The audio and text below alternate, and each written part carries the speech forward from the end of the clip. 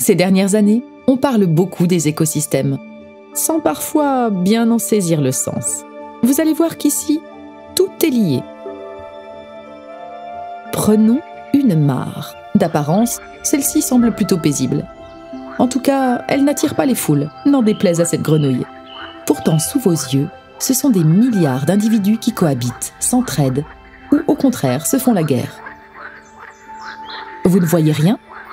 Très bien. Plongeons alors directement au sein de cette petite cité sous-marine. Parmi ces eaux troubles se cachent des formes de vie extraordinaires.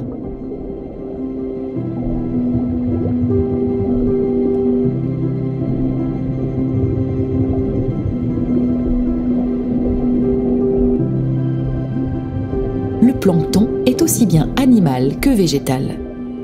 Ces micro-organismes aux allures extraterrestres sont pourtant bien terriens. Le phytoplancton est invisible à l'œil nu et on a tendance à oublier son existence. Seulement, c'est essentiellement grâce à lui que nous respirons sur Terre. Car ces végétaux microscopiques produisent de l'oxygène et pompent le CO2 grâce à la photosynthèse. Mais dans cette mare, ils constituent surtout la base de la chaîne alimentaire. Une chaîne alimentaire est une suite d'êtres vivants dans laquelle chacun est mangé par celui qui le suit. Les daphnies, un zooplancton qui prend la forme d'une petite puce d'eau, raffolent de phytoplancton. Elles sont elles-mêmes fort appréciées des larves de libellules ou d'éphémères qui, si elles espèrent un jour sortir de l'eau, doivent échapper aux grenouilles, aux poissons ou aux tritons. C'est cet équilibre entre proie et prédateur qui maintient l'harmonie au sein de la mare. Mais si l'un d'eux venait à disparaître, c'est toute la mare qui serait impactée. Pourtant, un mal invisible touche actuellement la réserve du Pinail, l'effet de serre. Accusé de tous les maux, il faut réhabiliter l'effet de serre sans qui la vie n'existerait probablement pas sur Terre.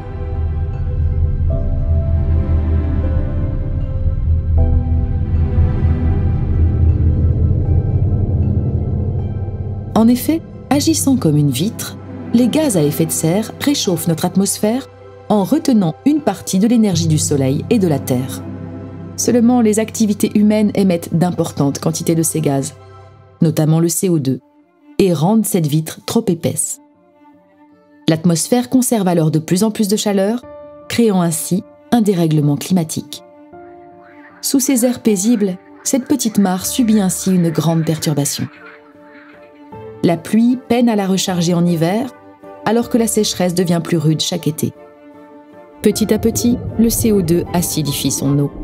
L'oxygène, lui, se raréfie avec l'augmentation de la température de l'eau, rendant le milieu invivable pour nombre d'espèces. Si elle veut survivre, l'écrevisse à pattes blanches devra abandonner certaines mares, devenues trop acides et chaudes, d'ici 2060. Le triton crété migre déjà à la recherche de nouveaux points d'eau et pourrait même disparaître de la région Nouvelle-Aquitaine d'ici 2050.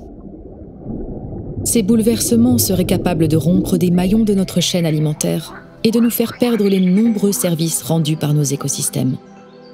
Au cœur de ce problème, notre rapport au territoire et aux ressources naturelles que nous exploitons toujours davantage.